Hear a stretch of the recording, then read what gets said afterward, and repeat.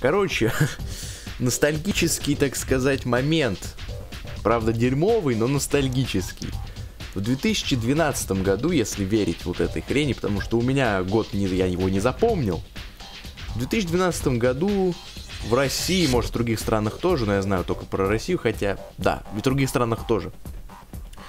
Короче, выпустили вот эту вот замечательную игру и еще две других. И эти игры были сделаны специально, чтобы рекламировать эти сухие завтраки Nesquik, ну вот эти шарики. Короче, эти диски прям в коробку клали. И очень хорошо, что можно было узнать, какой диск лежит. Там было небольшое окошко, можно было увидеть. Ну, я, конечно, хотел... Ну, тогда еще был какой 2012 год, у меня только первый комп был, ноутбук старый, на Pentium 4. Я очень хотел, ну, чисто игры, ну, игры ж круто. Хотелось игр побольше, интернета не было. Конечно, хотелось больше игр. Вот, и хотелось про машины больше всего. Там еще были игры вроде про дирижабль какая-то игра и про мотоциклы. А, про самолеты и про мотоциклы. Вот две игры. Одна про самолет, другая про мотоциклы. Ну, я, конечно, хотел про машины, вот третью. И вот я ее получил. Получил, запустил. Ну и знаете, в то время все было нормально. То есть даже если бы это было откровенно говно, было бы было нормально, потому что других игр не было, хотел что-то новенькое. Ну, я эту игру, собственно говоря, затер до дыр. Сейчас у меня тоже на новом компе ее запустил. Удивительно, что, кстати, она работает. То есть, вообще, флекс на десяточке спокойненько работает. В наше-то время. Хотя, чего удивительного? Ну ладно, неважно. Важно другое. Важно то, что эта игра оказалась бэкапнута мной. Диск-то у меня уже давным-давно нет но игра осталась на жестком диске в виде ISO образа, короче. Я сегодня вот на нее совершенно случайно наткнулся, и мне просто очень сильно захотелось вам ее показать. Такой вот новый тип видоса, которого у меня да, никогда, по сути-то, и не было. Просто взял, запустил, хотел показать. Потому что, ну, действительно, тут показывать-то особо нечего. Поэтому короткий видосик из этого можно сделать. Ну что, вот я тут играю за чувака по имени Калман. Почему Калман? Потому что игра Кал, соответственно, и человек должен быть Калман. Вот, короче, значит, вот игра, когда запускается, приветствует вас видосиком, кстати, видосик его как видосик можно посмотреть. Хотя, мне кажется, если я его включу, меня забанят. Ладно. Короче, тут очень крутой видосик в начале есть. Если хотите, потом я его отдельно запишу. Надеюсь, меня за него не забанят. И выложу. Ну, напишите в комментариях, если вам это надо, конечно. Короче, игра вас приветствует этим видосом, потом вы попадаете вот сюда. Ну, у вас будет другой немножко, но по сути вот вы нажимаете сюда, меняете имя, не знаю, там, Брах. Можно, кстати, по-русски писать, удивительно. Брахман. Можете менять цвет всех деталек, но машина всего одна. Да, и, кстати, у меня небольшие фризы, потому что опять на том жестком диске все лежит. Игра не лагает, это просто я дурачок. Можно цвета менять, все такое. Может, еще потом... И видите, вот есть заблокированный. Чтобы его получить, как я понял, ну, как я пока что понял, надо получить 100 тысяч очков на... за один заезд. А это невозможно. Поэтому, наверное, 100 тысяч надо получить в общем. Что очень, кстати, странно. Также можно пилота, кстати, редактировать. Но, опять же, только цвет, по сути, текстурка. Моделька тут одна. Вот такой хоп, и поехали. Я тут немножко уже покатался. Короче, надо три круга проехать дрифтить, потому что игра называется Дрифт, кстати говоря. Если кто не знал, эта игра прям так называется, Дрифт. Ну или Дрист. Дрист лучше, наверное, потому что это, эта физика в, в этой игре, она просто замечательная. Ну, вы уже, наверное, успели прочитать, я не буду это зачитывать, это дерьмо, а не инструкции. Ну а дальше начинается геймплей. Супер флексоидный, кстати говоря. Очень громкий еще. Я, наверное, опущу громкость Потому что, ну, что-то вообще громко. Короче, просто едете вот так. Да, я, наверное, громко себе пущу. А, тут паузы нет. Замечательно. Великолепно. Тут еще и паузы нет. Вот. Ну, как видите, дрифт здесь работает просто замечательно. Но в детстве я научился ездить очень хорошо здесь. И ставил рекорды по времени. Наверное, я был единственным, кто этого, этим вообще занимался. Ну, сейчас я вообще уже, конечно, разучился. Спустя 8 лет. Но по сути игра не настолько, чтобы сложная. Научиться тут довольно просто в нее играть. Но а вопрос в другом, а нужно ли вам это? То есть, вот серьезно, нужно ли вам? Хотите ли вы реально в этой игре учиться водить? Физика здесь полное дерьмо. Если вам кажется, что она ничего, ну, поиграйте сами, вы меня поймете. Но лучше не играйте. Просто поверьте на слово, эта игра плохая. Но опять же, чего вы ожидали, собственно говоря? Эта игра была выпущена чисто для того, чтобы прорекламировать какой-то сухой завтрак. Просто чисто, то есть какого-то быдлокодера наняли, и ни одного, кстати. И он сделал эту игрушечку на коленке, на чё? Тут даже, насколько я понял, здесь даже нету титров. То есть, не, не, я не знаю, кто сделал эту игру. И мне кажется, никто не даст узнать. Ну, хотя, наверное, просто надо было погуглить. Но мне просто лень. И так вот вы едете три круга, собираете вот этот кал и все такое. Тут можно притормозить, чтобы собрать побольше кала. Насколько я помню, здесь можно было какой-то объезд, что ли, найти или что-то такое. Но я не уверен. Вроде как здесь все просто. Тупо один круг. Ну, я имею в виду, конечно, три круга, но трасса одна, я и в этом плане. А, еще перевернуться можно, ни хрена себе. Я умудрился перевернуться. Не, ну физика, конечно, здесь замечательная. Но когда у тебя получается дрифтить, то в принципе нормально. То есть, да, сам дрифт ощущается, если он работает, но когда ничего не получается, то все. Плюс, опять же, никакой поддержки геймпадов. Ну, что логично, наверное, потому что, типа, зачем? Ну и все такое. Одна музыка в гонке, одна музыка в меню. Кстати, музыка в меню очень сильно похожа на Колин Макрей Ралли. Особенно 2005 прям напомнила. Хотя, наверное, просто ностальгия. Хотя какая тут может быть ностальгия? На самом деле, эта игра мне не нравится. То есть, это хоть ностальгия есть, типа приятно, но играть в это я не буду. Это вам не Драйвер 3, который был замечателен.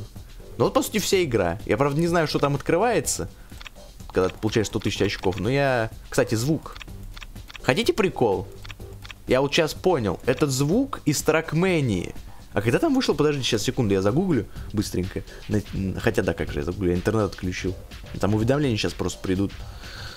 Короче. Да, уведомление пришло. Сейчас. Когда вышел Trackmania Canyon? Trackmania 2 Canyon. Потому что звук оттуда взят. Когда она вышла? 2011 год, да, действительно, ребят. Это еще и бутлег, замечательно. Еще они своровали звук из Trackmania 2 Canyon. И если вы мне не верите, и у вас есть эта игра, и вы, может, не помните, этот звук он э, и в трекмене даже не только Canyon. Я сейчас вот почувствовал, что это... Я даже сам ошибся, это еще из, из первой трекмении, которая сейчас вы можете поиграть, называется United Forever вроде. Так она называется. А, Nations Forever. Вот бесплатная Nations, а та, которая платная United Forever. Короче, этот звук из какой-то трекмении точно. Вот я вам, я вам гарантирую. В редакторе карт, либо трекмени 2, либо трекмени 1, вот этот звук применяется. И он там везде. Так что, да. Мало того, что игра супер дешевая, так она еще и супер фиговая. И так уж и быть, для того, чтобы полностью закончить этот э, экскурс, я вам сейчас еще кое-что покажу.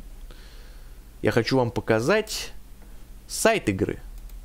Ну, конечно, он уже давно-давно не работает, но я нашел его в Wayback Machine. Сейчас я вам его покажу. Эта игра нафиг пошла, все, я вам ее примерно уже показал. Думаю, вам она и сам, вам она надоела, мне она точно надоела. Сейчас я вам покажу. Не знаю, как я это буду делать. Честно, не знаю. Наверное, захват экрана, как всегда. А он еще и не работает. Хоп. Вот. Вот оно. Team Hot Wheels. Вот Hot Wheels CD Games сведения об играх, хотя тут явно одна игра, если уж именно Team Hot Wheels. Хотя, хотя, вроде как они все были от Hot Wheels, но я не смотрел. Во всяком случае, требования к системе. Запомните, 2012 год. Запомнили? Теперь вспоминайте. 2012 год, Windows XP. Speed, SP 2. Да, замечательно. Pentium 4. 512 мегабайт оперативки. У меня, кстати, даже меньше было. 24, 24 скоростной CD-ROM. Вообще флекс. CD-ROMы в 2012 году, когда уже DVD-ROM-то не так часто использовались. Совместимый видеоадаптер с поддержкой DirectX 9, 64 мегабайта. У меня было 32 мегабайта. Оно работало замечательно. Мышь или клавиатура, колонки или наушники, тоже все было, естественно. И та же на Mac оно есть. И это, кстати, не шутка. Я сначала вообще не шарил. То есть, когда я рипл этот, ну, делал образ этой замечательной игры, я не знал, как работает Mac, но потом я заглянул вот буквально, когда сегодня эту игру откопал снова на своем жестком диске, я нашел там файлик Mac, который был написан Mac. И я сразу понял, что эта игра еще и на Mac, оказывается, есть. И она также будет работать, если вы вставите этот диск в Mac. А теперь у меня вопрос, какого черта? Типа, ну, не, ну, конечно, хорошо, но, блин, зачем? А, я просто, я очень сомневаюсь, что в нашей стране те, у кого Mac, купили бы этот диск, купили бы этот завтрак нищенский, ну, по сути, это сравниваем уж Mac, это же для богатых, там, макбуки, все это для, богатеньких детишек, они такое вряд ли бы стали запускать. Но вот, пожалуйста, да, есть всякие тут решения проблем, предупреждение о вреде для здоровья и все такое. Вот такая вот суперская, замечательная, конечно же, игрулечка, да. Просто замечательно, конечно. Ничего не могу тут сказать, это просто, просто удивительный experience. И единственное, что хотелось сказать в завершение, то, что очень жаль, да, все равно жаль, хоть игра-то говно, и все, все эти события с такими вот рекламными играми в кавычках, э, это все говно, но жалко, что такого больше нет, вот реально. Все-таки это было как-никак весело. Потому что, ну, банально. Часто игры уже та же, вот эти было, какая-то была игра Angry Birds от Читаса, где там надо было покупать эти читасы, читасы, ну, эти чипсы.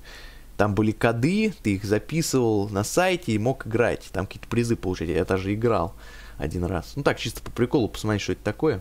Давно это тоже было. Ну вот, короче, таких ивентов, таких э, промоушенов больше нет. Этих дешевых игр тоже больше нет. Потому что это, понимаете, такие обычно дешевые игры, они в плеймаркете сейчас. Все, кому не лень, делают, рекламу тасуют и продают. А тут прям действительно настоящая игра, хоть и да, там немножко бутлегнуто немножечко, так, звуки неправильные. Но в суть, по сути-то, что я могу сказать? Игра-то лежит, и не одна, а целых три игры. И они все настоящие, они все ну, можно так сказать, лицензированные. И действительно, они, ну, это, это нормальные игры, по сути. Это просто дешевые, но от нормальных контор. И это удивительно. Сейчас такое не встретишь. То есть реально, сейчас не сходишь в магазин и такой, оп, а вот мой любимый сухой завтрак, а там внезапно хоба диски с играми. Да не будет такого больше, я вам гарантирую. Диски умерли, хотя я все равно использую дисковод на компьютере потому что я люблю диски. Но, к сожалению, The Future is now, old man. Я действительно выгляжу как old man после всех этих слов. Ну и ладно, и мне плевать. Так что с вами был Cloud Shade. Это было Hot Wheels Team Drift. И если у вас это было в детстве, то можете вспомнить, скачать где-нибудь. А если у вас этого не было, то не, не трогайте. Я вам не советую. Это Л- лучше избегайте этого, оно того не стоит. Ну а на этом все. С вами еще раз, я опять же говорю, с вами CloudShade. Пока!